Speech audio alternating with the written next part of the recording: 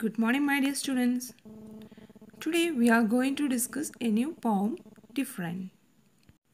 The poem Different was written by Ilona Fenton. Ilona Fenton is the author with different opinions and she is also considered as the author of Discovery. Let's start our poem. Please listen. Different. Just because I am different and hear a different song or march you to an old drummer doesn't mean I am wrong. In the first stanza, the poet tells that she is different. She hears different song. That means she doesn't wrong. And she tells she would march to a drummer and that doesn't mean she is not wrong. Here the poet suggests that her way of life might be different, but that doesn't mean she is wrong.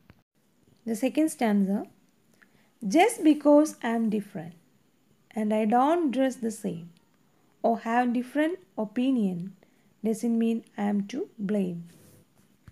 Here she explains she dresses differently, not the same. And she has different opinion. That doesn't mean she blame.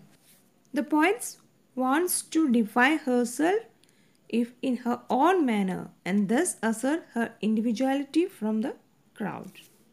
The third stanza Just because I'm different and don't work from 9 to 5 or earn an annual wage doesn't mean I am on the sky. Here again the poet explains she doesn't work as usual or earn annual wage. That doesn't mean staying away from the workplace.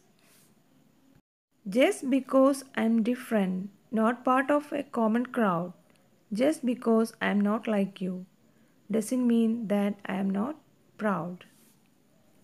The speaker defines herself as being different from others as she follows different manner, has different opinion and in short does not strike on a common routine.